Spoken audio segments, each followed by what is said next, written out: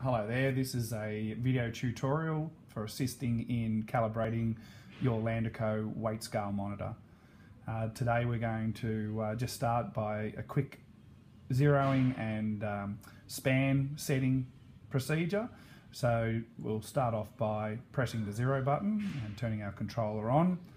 Uh, while that's starting up you'll see uh, some numbers come up which will show us the version of the unit how many times we've entered into the calibration section and it's reading zero. Uh, yours may have been, your spreader may have been zeroed off uh, in your pre-delivery.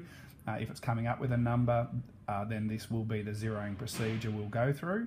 Uh, you need to have your spreader fitted to your tractor with uh, no load on it and the jack fully retracted. So we'll go into the calibration section by pressing the power and the function key simultaneously holding for a few seconds. It'll start up in the full setup mode. Here you'll see the version again, and we come up into the word build.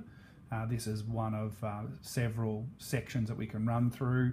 So by using the zero button, we can toggle through uh, five or six different options, as you can see coming up on the screen. And the one we're looking through, it'll just scroll around from one, uh, from the front to the beginning. And the one we're looking for is cal.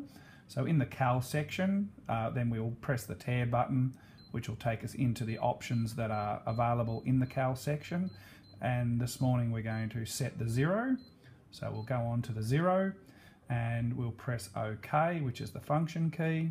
And by, sa by saying that, the function key is noted by the F.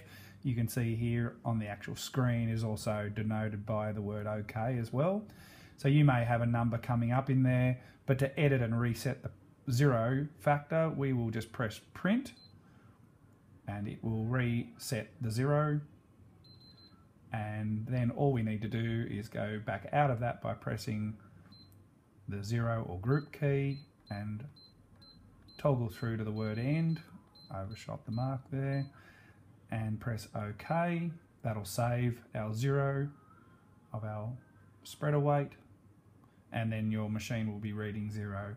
Another tutorial will follow where we will do a calibration.